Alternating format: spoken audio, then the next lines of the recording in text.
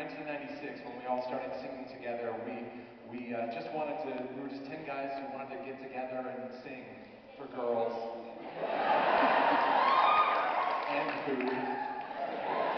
Preferably both. Um, we didn't have wireless mics, we didn't have this set, we didn't have matching anything at all, but we, we did have a love for music, and uh, so we want to take you back to, to those days at Indiana University and uh, give you a listen to what you might have heard if you walked into a stairwell on the Indiana University campus.